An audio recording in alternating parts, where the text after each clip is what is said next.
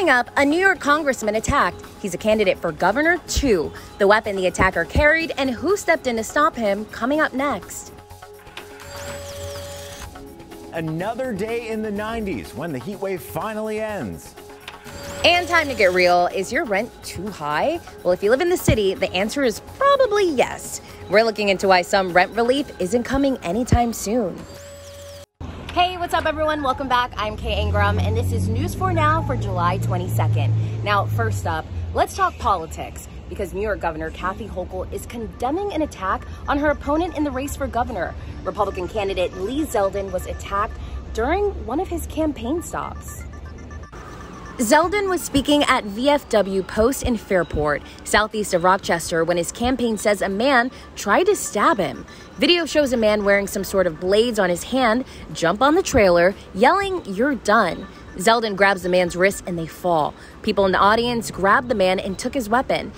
He's been identified as 43 year old David Jakubonis. No word yet on charges. And Zeldin continued speaking after the commotion happened. Following the attack, a Zeldin spokesperson issued a statement saying, Far more must be done to make New York safe again. Hip hop artist Fetty Luciano is facing charges in connection with a pool party shooting at the Mansion Hotel on Long Island. In this case, the party was July 10th at the Glen Cove property. Police arrested the Brooklyn artist, whose real name is Remy Marshall. He's being charged with attempted murder and weapons charges. The shooting happened during what was billed as a celebrity birthday party, attended by at least 150 people. Three people were hurt in the shooting. The city of Glen Cove says that the party was not allowed, and Mansion's liquor license has been suspended. All right, up next, here in the tri state, we've been talking a lot about shark attacks, and the latest is a 16 year old who was bit while surfing except he tells us he feels pretty lucky that it wasn't a lot worse. Max Haynes' foot was still wrapped and hurting as he spoke with reporters from his porch Thursday. He's the fifth shark attack victim off Long Island in less than a month. Haynes had been out surfing with his friend in the water off Kismet Beach on Fire Island on Wednesday. He says that the recent shark incidents were a topic of banter with his buddy until the joke became real. Haynes says he never saw the shark but felt its presence. His father, who is an EMT, was watching from the shore and helped him control the bleeding. So far, though, none of the shark victims have been seriously hurt.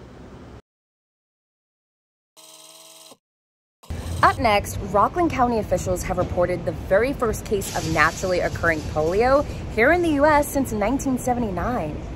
Officials are not giving out specific information about where the person who caught the virus lives. The health department did tell us, though, that the patient is an adult who was not vaccinated and is no longer contagious. If you're not vaccinated against polio, there's a clinic this weekend at the Pomona Health Complex. The information is on your screen right now. You can make an appointment by calling the number you see there, 845 238 1956. We're told that walk ins are also welcome.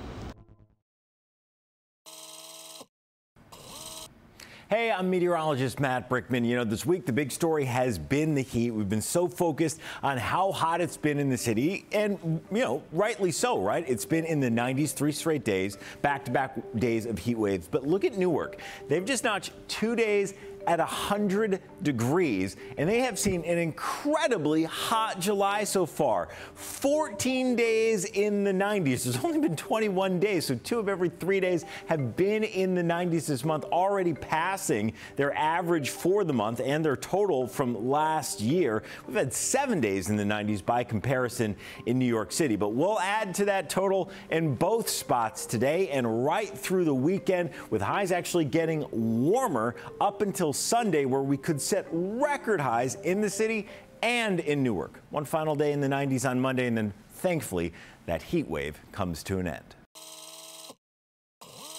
Uh, okay, don't hate me, but I know this one is gonna hit home for a lot of us. Rent. Why is it that rent is so high? I mean, it's not like we can do anything about it, but still, why? Well, NBCLX is here to look at why it is and also why the signs of it slowing down aren't happening anytime soon. Check it out. Prices could ease up is Zillow senior economist Jeff Tucker. Jeff, all right, looking ahead to the next couple of months, how bad are prices going to get, or are they going to get a little better?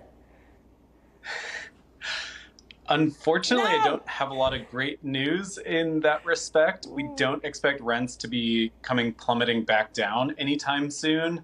Um, you know, rents, our national rent index is up about 16% year over year. So that's, that's much higher than the BLS captures in the actual like official inflation numbers. And one of the reasons for that is so many folks kind of coming back to the city. And you mentioned New York City and Manhattan really stands out in this respect, where rents are up over a third in the last year. So our rent index for Manhattan just jumped from 3000 to $4,000 in a single year. And I think that trend of cities reopening, jobs and offices kind of reopening and pulling people back in is actually just picking up steam at this point. Wow. And the one other huge factor affecting the rental market, oddly enough, is mortgage rates. Mortgage rates have about doubled from this time last year, from under 3% to over 5%. That means some of those renters who were going to move out, vacate their unit, and buy their first home are instead staying put and renewing that lease. So that adds to the pressure on the rental market. It certainly does. And many renters, you know, having to possibly move or even downsize because they can no longer afford their rent. In fact, I want to listen to a teacher from Austin, Texas, real quick on how rent prices have impacted her and then talk to you on the other side. if I had signed the lease, I would have it would be taking a lot of my savings, um, and so I decided to move uh, to a new building. I'm losing about 150 square feet. Here's the real question. What is the most that a land cor- uh, landlord can actually raise rent? And I have a feeling it's going to vary state by state. Yeah, in a lot of the country, it's just what the market will bear. They, they Oh, can wow. basically raise rent to whatever they think would make them the most money. Um, but in other cities, you know, uh, New York City and Los Angeles, a lot of the biggest cities actually in the U.S. do have some form of rent control. It's you, you should really research whether it applies to your unit and your building. It's often mostly applied to older buildings, um, which are sort of, uh, you know, set earlier. So it's kind of tied to the overall rate of inflation. So e- even in rent controlled places, your rent is still probably going up this year, just at a somewhat lower pace. Okay, let's go back to New York and talk about uh, talk about New York because that was kind of the most shocking statistic, at least from my perspective. And New York is such a tricky market. Residents, they're paying a lot of money for just a little bit of space. I actually lived there for a summer, so I can tell you it was tough. But only 23% of New Yorkers can afford to pay the average cost of the rent in the city. So why is rent so high there? And what could this mean if rent prices end up pushing residents out of the city? Yeah, I, you know, New York City is the center of it all. It's it's a place where people want to move. It's got some of the highest paid employers in the country. And so when you hear only 23% of people can afford the rent, that's really kind of based on the market rent. Like what are the current openings going for? Right. Uh, which goes to show you that for a lot of those residents, especially if they're in some of those rent controlled units, if they get forced out one way or the other and forced out onto that open market, they are basically going to have to move away. They couldn't actually go back and sign a new lease at today's going rates. So that is incredibly disruptive. You know, for a family with kids, they may have to move schools if they move out and they can't afford to sign on an apartment in the same school district. Um, this is a major affordability crisis in this country. And, you know, frankly, at, at the moment, it's not very clear what federal policymakers can do about it. Uh, I, I think in the long run, what we need is more housing. You know, we need to go from a, a mindset and a level of scarce housing to fairly abundant housing. But in the short term, you know, in, in Manhattan, there's only about half as many vacant units as there were a year ago that are listed for rent right now. Oh, wow. So at the moment, uh, we are in this extreme scarcity mindset, and that means it's sort of like a game of musical chairs. More and more residents are finding themselves without a seat, and they've just got to go somewhere else. Right, especially because in New York, you know, it's such a, a, diverse population of people doing all sorts of things. I mean, if rent is that high, if you're someone, for instance, in the service industry, it's going to be very difficult sometimes for you to find a place to live. So, Jeff Tucker, thank you so much for coming on and going over these numbers with us. Thanks for having me on.